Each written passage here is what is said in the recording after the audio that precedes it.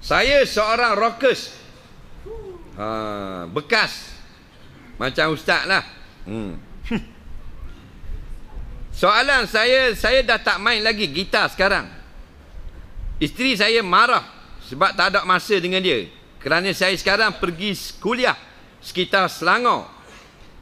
Masalahnya sekarang, isteri saya larang saya pergi mengaji. ah, biarlah. Rockers. Tak rocker lah kalau bini marah gini. Aku rocker-rocker sungguh. Faham tak? Ha, bini tak berani marah.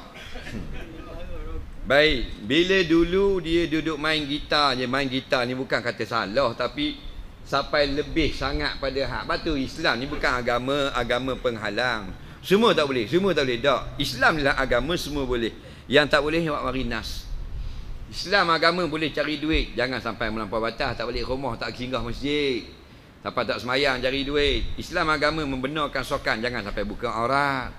Islam agama benarkan nyanyian Jangan sampai bukan mahram Nyanyi depan mahram Karaoke pula dah ha? Laki puan Laki puan jantan tina ne? Islam agama yang membenarkan melancong Melancong lah Jangan sampai tak semayang Faham tak? Ha, Islam agama yang membenarkan kita berehat-rehat tepi pantai Jangan sampai pakai bikini Jadi macam bewok Duduk tepi pantai Ada banyak benda yang boleh dalam Islam Maka muzik kita juga Jangan sampai sampai nak Muzik jadi benda harian matlamat hidup kita Dia hanya sampingan saja matlamat kita untuk beribadah kepada Allah. Baik.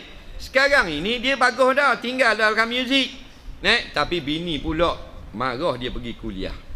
Jawabnya talabul ilmi faridatun ala kulli muslimin wa muslimatin. Menuntut ilmu agama bukan saja suami, bini pun kena menuntut ilmu agama. Jadi, kalau dia kesunyian di rumah kita pergi kuliah, bawa isteri kita. Faham? Mula-mula dia tak suka Lama-lama dia akan suka insya-Allah.